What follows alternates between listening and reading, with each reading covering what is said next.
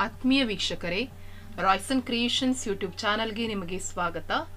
ಇಂದಿನ ಈ ವಿಡಿಯೋದಲ್ಲಿ ಹತ್ತನೇ ತರಗತಿಯ ಗಣಿತ ವಿಷಯದ ನೀಲಿ ನಕಾಶೆ ಅಂದರೆ ಬ್ಲೂ ಪ್ರಿಂಟ್ ಬಗ್ಗೆ ನಾನು ನಿಮಗೆ ತಿಳಿಸ್ಕೊಡ್ತಾ ಇದ್ದೀನಿ. ಸೊ ನಿಮಗೆ ಗೌರ್ಮೆಂಟಿಂದ ಯಾವುದೇ ರೀತಿಯ ಒಂದು ಬ್ಲೂ ಪ್ರಿಂಟನ್ನು ಕೊಟ್ಟಿಲ್ಲ. ಆದರೆ ನಿಮ್ಮ ಮಾಡೆಲ್ ಕ್ವಶನ್ ಪೇಪರ್ನ ಮೇಲೆ ಅಧ್ಯಾಯವಾರು ಯಾವ ರೀತಿ ಅಂಕಗಳನ್ನು ಅವರು ತೆಗೆದುಕೊಂಡು ಕ್ವಶನ್ ಪೇಪರನ್ನು ಮಾಡಿದ್ದಾರೆ ಅನ್ನೋದ್ರ ಬಗ್ಗೆ ನಾನು ನಿಮ್ಮ ಜೊತೆ ಇವತ್ತ ವಿಶ್ಲೇಷಣೆ ಮಾಡ್ತಾ ಇದ್ದೀನಿ. ಸೊ ಇದನ್ನು ನೀವು ಮಾಡೋದ್ರಿಂದ ನಿಮಗೆ ಯಾವ ಲೆಸನ್ನಿಗೆ ಎಷ್ಟೆಷ್ಟು ಅಂಕಗಳನ್ನು ಕೊಟ್ಟಿದ್ದಾರೆ, ಯಾವ ಪಾಠಕ್ಕೆ ಎಷ್ಟು ವೇಟೇಜನ್ನು ಕೊಡಬೇಕು ಅನ್ನೋದು ನಿಮಗೆ ಅರ್ಥ ಆಗುತ್ತೆ. ಸೊ ಈ ಒಂದು ಮಾಡೆಲ್ ಕ್ವಶನ್ ಪೇಪರ್ ಪ್ಯಾಟ್ರನಲ್ಲೇ ನಿಮ್ಮ ಪ್ರಿಪ್ರೇಟ್ರಿ ಇರ್ಬೋದು, ನಿಮ್ಮ ಫೈನಲ್ ಎಕ್ಸಾಮ್ ಇರ್ಬೋದು ಬರೋ ಅಂಥದ್ದು. ಹಾಗಾಗಿ ಇದು ಗೌರ್ಮೆ ನಿಮಗೆ ಪರೀಕ್ಷಾ ಮಂಡಳಿಯವರೇ ಬಿಡುಗಡೆ ಮಾಡಿರೋದ್ರಿಂದ ಸೊ ಈ ಒಂದು ಪ್ಯಾಟ್ರನನ್ನು ಫಾಲೋ ಮಾಡಿ ಮತ್ತೆ ಅದೇ ಪ್ಯಾಟ್ರನ್ ಮೇಲೆ ಯಾವ್ಯಾವ ಅಧ್ಯಾಯಗಳಿಗೆ ಎಷ್ಟೆಷ್ಟು ಅಂಕ ಕೊಟ್ಟಿದ್ದಾರೆ ಅಂತ ನಾನು ಈ ವಿಡಿಯೋದಲ್ಲಿ ನಿಮ್ಮ ಜೊತೆ ಡಿಸ್ಕಷನ್ ಮಾಡ್ತಾ ಇದ್ದೀನಿ. ಯಾರೆಲ್ಲ ಮೊದಲ ಬಾರಿ ನಮ್ಮ ಚಾನಲನ್ನು ನೋಡ್ತಾ ಇದ್ದೀರಾ ಸಬ್ಸ್ಕ್ರೈಬ್ ಮಾಡಿ ಹಾಗೂ ನಿಮ್ಮ ಫ್ರೆಂಡ್ಸಿಗೆ ಶೇರ್ ಮಾಡೋದನ್ನ ಮರಿಬೇಡಿ. ಸೊ ಮೊದಲಿಗೆ ನಾವು ಅಧ್ಯಾಯವಾರು ಯಾವ ರೀತಿ ಅಂಕಗಳನ್ನು ಅವರು ಕೊಟ್ಟಿದ್ದಾರೆ ಫಸ್ಟ್ ನೋಡೋಣ. ಆ ನಂತರ ನಾವು ಪ್ರತಿಯೊಂದು ಪಾಠದಲ್ಲೂ ನಾವು ಮಾರ್ಕ್ಸ್ಗಳನ್ನು ಒಂದು ಅಂಕಕ್ಕೆ ಎಷ್ಟು ಎರಡು ಅಂಕಕ್ಕೆ ಎಷ್ಟು ಕೊಟ್ಟಿದ್ದಾರೆ ನೋಡ್ತಾ ಹೋಗೋಣ. ಸೊ ಬೀಜಗಣಿತ ಅಂತೇಳಿ ಬಂದರೆ ಒಟ್ಟಾರೆಯಲ್ಲಿ ಎರಡು ಅಕ್ಷ, ಚರಾಕ್ಷರಗಳಿರುವ ರೇಖಾತ್ಮಕ ಸಮೀಕರಣಗಳ ಜೋಡಿಗಳು, ಸಮಾಂತರ ಶ್ರೇಣಿಗಳು, ವರ್ಗ ಸಮೀಕರಣಗಳು, ಬಹುಪದೋಕ್ತಿಗಳು. ಈ ನಾಲ್ಕು ಪಾಠಗಳನ್ನು ಸೇರಿ ಬೀಜಗಣಿತ ಅಂತ ಪಾಠ ತಗೊಂಡು ಅದರಲ್ಲಿ ಇಪ್ಪತ್ತಾರು ಅಂಕಗಳಿಗೆ ಬರ್ತವೆ. ತದನಂತರ ತ್ರಿಕೋನಮಿತಿಗೆ ಬಂದಾಗ ತ್ರಿಕೋನಮಿತಿಯ ಪ್ರಸ್ತಾವನೆ ಮತ್ತೆ ತ್ರಿಕೋನಮಿತಿಯ ಮೇಲಿನ ಅನ್ವಯದ ಲೆಕ್ಕಗಳು ಒಟ್ಟಿಗೆ ಸೇರಿ ಒಂಬತ್ತು ಅಂಕಕ್ಕೆ ಪ್ರಶ್ನೆಗಳು ಈ ಒಂದು ತ್ರಿಕೋನಮಿತಿಯಿಂದ ಬರ್ತದೆ.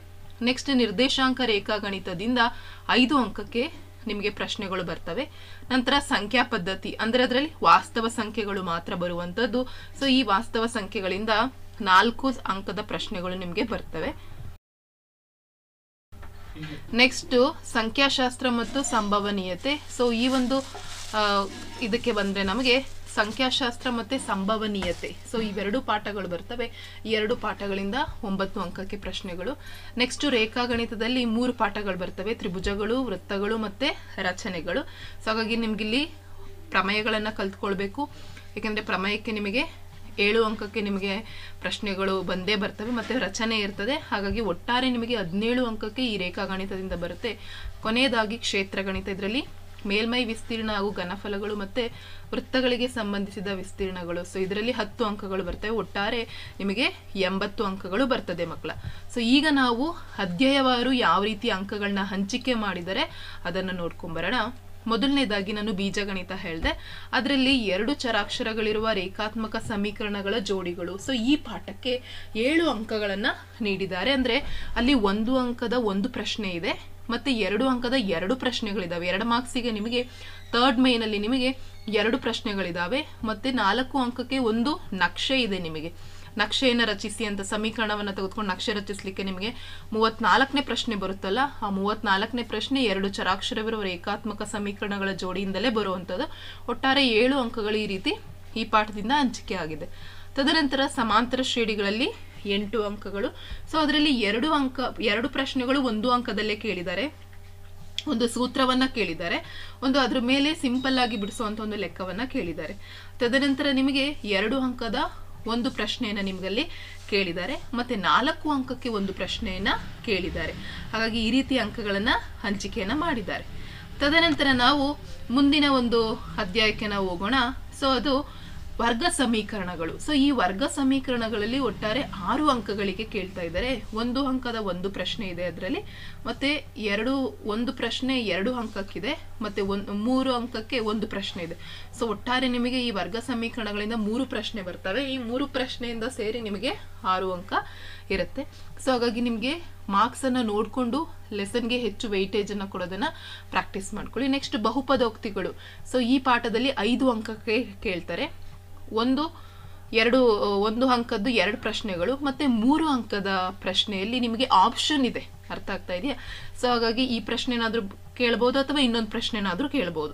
ಹಾಗಾಗಿ ಇಲ್ಲಿ ನಾನು ನಿಮಗೆ ಏನು ಸ್ಟಾರ್ ಹಾಕಿದ್ದೀನಲ್ಲ, ಅದು ಚಾಯ್ಸ್ ಇದೆ ನಿಮಗೆ. ಹಾಗಾಗಿ ಮೂರು ಅಂಕದ ಇಲ್ಲೊಂದು ಚಾಯ್ಸ್ ಕ್ವಶನ್ಸ್ ಇರುತ್ತೆ. ಸೊ ಒಟ್ಟಾರೆ ನಿಮಗೆ ಐದು ಅಂಕಕ್ಕೆ ಈ ಪಾಠದಿಂದ ನಿಮಗೆ ಕೇಳ್ತಾರೆ. ತದನಂತರ ತ್ರಿಕೋನಮಿತಿ. ಸೊ ಈ ತ್ರಿಕೋನಮಿತಿಗೆ ಬಂದರೆ ನಮಗೆ ಎರಡು ಪಾಠಗಳಿದ್ದಾವೆ ಒಂದು ತ್ರಿಕೋನಮಿತಿಯ ಪ್ರಸ್ತಾವನೆ ಮತ್ತು ತ್ರಿಕೋನಮಿತಿಯ ಅನ್ವಯದ ಲೆಕ್ಕಗಳು. ಸೊ ತ್ರಿಕೋನಮಿತಿಯ ಪ್ರಸ್ತಾವನೆಗೆ ಬಂದರೆ ಈ ಬಾರಿ ನಿಮ್ಮ ಮಾಡೆಲ್ ಕ್ವಶನ್ ಪೇಪರಲ್ಲಿ ಒಂದು ಅಂಕದ ಮೂರು ಪ್ರಶ್ನೆಗಳನ್ನು ಕೇಳಿದ್ರು. ಮತ್ತು ಎರಡು ಅಂಕದ ಒಂದು ಪ್ರಶ್ನೆ ಇತ್ತು. ಅಲ್ಲಿ ಆಪ್ಷನ್ ಇತ್ತು ಮಕ್ಕಳ ಅರ್ಥ ಆಗ್ತಾ ಇದೆಯಾ? ಸೊ ಹಾಗಾಗಿ ಅಲ್ಲೂ ಸಹ ನೀವು ಗಮನ ಕೊಟ್ಟು ನೋಡಿ. ನೆಕ್ಸ್ಟ್ ತ್ರಿಕೋನಮಿತಿಯ ಮೇಲಿನ ಅನ್ವಯದ ಲೆಕ್ಕಗಳು ನಾಲ್ಕು ಅಂಕಕ್ಕೆ. ಸೊ ಈ ಬಾರಿ ನಿಮಗೆ ನಾಲ್ಕು ಅಂಕದಲ್ಲಿ ಈ ಪ್ರಶ್ನೆ, ಈ ಪಾಠದ ಮೇಲೇನೆ ಎರಡು ಆಪ್ಷನ್ ಅನ್ನು ಕೊಟ್ಟಿದ್ರು. ಎರಡು ಪ್ರಶ್ನೆಯಲ್ಲಿ ಒಂದನ್ನ ಬರೀಬೇಕು. ಹಾಗಾಗಿ ಆಪ್ಷನ್ ಇತ್ತು. ಒಟ್ಟಾರೆ ನಾಲ್ಕು ಅಂಕ ನಿಮಗೆ ಈ ಪಾಠದಿಂದಲೇ ಕೇಳಿದ್ರು. ಸೊ ನೆಕ್ಸ್ಟ್ ನಾವು ನಿರ್ದೇಶಾಂಕ ರೇಖಾಗಣಿತದಿಂದ ನೋಡೋಣ. ಸೊ ಈ ನಿರ್ದೇಶಾಂಕ ರೇಖಾಗಣಿತದಲ್ಲಿ ಐದು ಅಂಕಗಳು ಬರ್ತವೆ. ಒಂದು ಎರಡು ಅಂಕದ ಒಂದು ಪ್ರಶ್ನೆಯನ್ನ ಕೇಳಿದ್ರು ನಿಮಗೆ. ಅಲ್ಲಿ ದೂರ ಸೂತ್ರವನ್ನ ಕೇಳ್ಬೋದು ಮಧ್ಯ ಬಿಂದು ಇದನ್ನೇ ಕೇಳ್ತಾರೆ ಅಂತಲ್ಲ ಈ ಬಾರಿ ನಿಮಗೆ? ತ್ರಿಕೋನ ತ್ರಿಭುಜದ ವಿಸ್ತೀರ್ಣವನ್ನ ಕಂಡುಹಿಡಲಿಕ್ಕೆ ಕೇಳಿದ್ರು. ಅಲ್ಲಿ ಮ- ಆ ರೀತಿಯ ಪ್ರಶ್ನೆಗಳನ್ನು ಕೇಳ್ಬೋದು. ಅಥವಾ ದೂರ ಸೂತ್ರವನ್ನು ಉಪಯೋಗಿಸ್ಕೊಂಡು ದೂರವನ್ನು ಕಂಡುಹಿಡಲಿಕ್ಕೆ ಮಧ್ಯ ಬಿಂದು. ಸೊ ಹಾಗಾಗಿ ಎಲ್ಲ ಸೂತ್ರದ ಮೇಲೆ ಲೆಕ್ಕಗಳನ್ನ ಕಲ್ತ್ಕೊಳ್ಳಿ. ನಂತರ ಮೂರು ಅಂಕಕ್ಕೆ ಒಂದು ಆಪ್ಷನ್ ಇತ್ತು ಮಕ್ಕಳಲ್ಲಿ ಎರಡು ಪ್ರಶ್ನೆಗಳಲ್ಲಿ ಒಂದು ಆಪ್ಷನ್ ಇತ್ತು. ಹಾಗಾಗಿ ಅಷ್ಟನ್ನು ಒಟ್ಟಿಗೆ ಕಲ್ತ್ಕೊಳ್ಳಿ. ಐದು ಅಂಕ ಸಿಗುತ್ತೆ. ಮತ್ತೆ ವಾಸ್ತವ ಸಂಖ್ಯೆಗಳಿಗೆ ಬಂದಾಗ ಅಲ್ಲಿ ನಾಲ್ಕು ಅಂಕದ ಪ್ರಶ್ನೆಗಳಿತ್ತು. ಸೊ ಅದರಲ್ಲಿ ಒಂದಂತೂ ಕೇಳೇ ಕೇಳ್ತಾರೆ.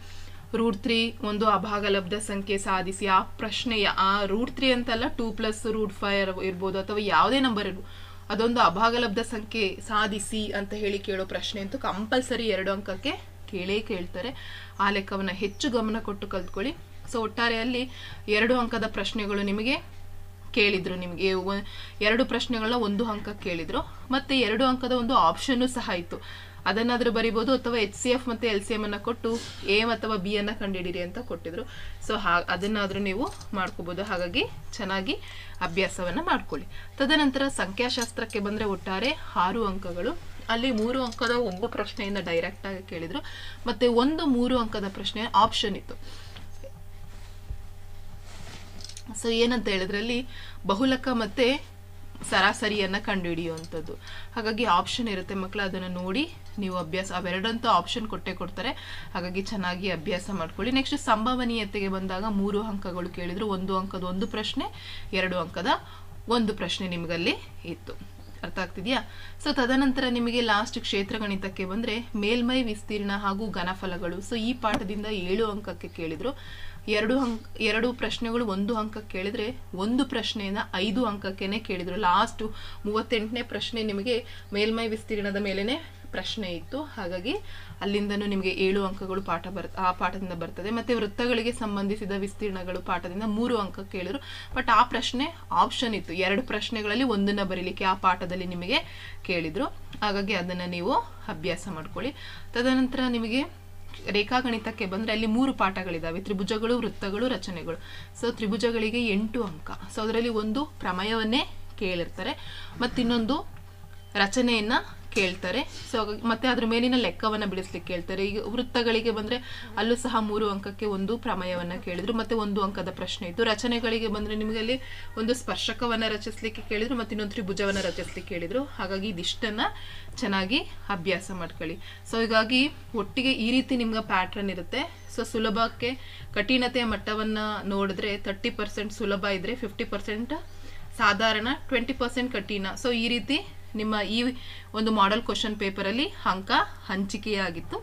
ಅದೇ ರೀತಿ ನಿಮ್ಮ ಜ್ಞಾನಗ್ರಹಣ ಮಟ್ಟಕ್ಕೆ ಬಂದ್ರೆ ಅಂಕಗಳು ಯಾವ ರೀತಿ ಹಂಚಿಕೆ ಆಗಿತ್ತು ಅಂದ್ರೆ ಜ್ಞಾನಕ್ಕೆ ಹತ್ತು ಪರ್ಸೆಂಟ್ ತಿಳುವಳಿಕೆಗೆ ಐವತ್ತು ಪರ್ಸೆಂಟ್ ಐವತ್ತೈದು ಪರ್ಸೆಂಟ್ ಅನ್ವಯಕ್ಕೆ ಇಪ್ಪತ್ತು ಪರ್ಸೆಂಟ್ ಕೌಶಲ್ಯಕ್ಕೆ ಹದಿನೈದು ಪರ್ಸೆಂಟ್ ಸೊ ಈ ರೀತಿ ನಿಮ್ಮ ಒಂದು ಮಾಡೆಲ್ ಕ್ವಶನ್ ಪೇಪರಲ್ಲಿ ಅಂಕಗಳು ಹಂಚಿಕೆಯಾಗಿದ್ವು.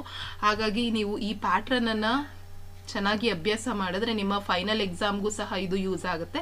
ಸೊ ಇದು ಒಂದು ಬ್ಲೂ ಪ್ರಿಂಟ್ ಅಂತ ಹೇಳಿ ನಾವು ಹೇಳಲಿಕ್ಕಾಗಲ್ಲ. ಸೊ ವಿಷಯ ಅಧ್ಯಾಯವಾರು ಅಂಕವನ್ನು ಯಾವ ರೀತಿ ಹಂಚಿಕೆ ಮಾಡಿದ್ರು, ಹಾಗಾಗಿ ಒಟ್ಟಾರೆ ಇದು ನೀವು ಅಭ್ಯಾಸ ಮಾಡಿದರೆ ನಿಮ್ಮ ಫೈನಲ್ ಎಕ್ಸಾಮ್ಗೆ ಯೂಸ್ ಆಗುತ್ತೆ ಅಂತ ಹೇಳ್ತಾ ಈ ವಿಡಿಯೋನ ನಾನು ಇಲ್ಲಿಗೆ ಎಂಡ್ ಮಾಡ್ತಾ ಇದ್ದೀನಿ. ಹೆಚ್ಚಿನ ವಿಡಿಯೋಗಾಗಿ ರಾಯ್ಸ್ ಆ್ಯಂಡ್ ಕ್ರಿಯೇಷನ್ಸ್ ಯೂಟ್ಯೂಬ್ ಚಾನಲನ್ನು ಸಬ್ಸ್ಕ್ರೈಬ್ ಮಾಡಿ.